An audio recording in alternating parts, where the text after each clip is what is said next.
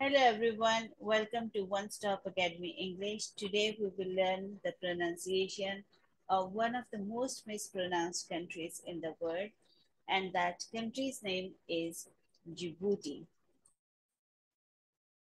D is silent and we start with the J sound which is J and then it's A as in ship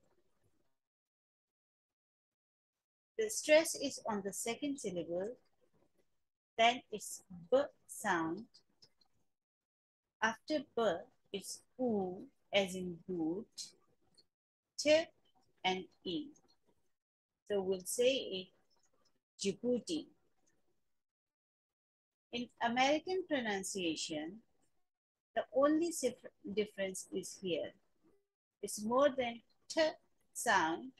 It's like D here. So it's Djibouti. So using IPA typewriter, let's write the IPA script for Djibouti. J E then there is stress U Ch and then in Djibouti.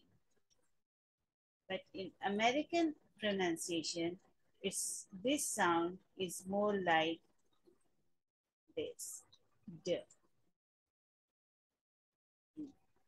Djibouti. So if you are from Djibouti or Djibouti, please let us know which pronunciation is the correct one. If you like this video, please press the like button.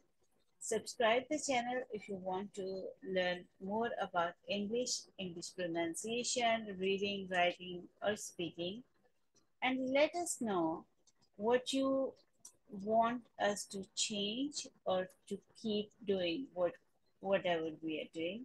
Your feedback is valuable to us. Thank you for watching. See you again. Bye-bye.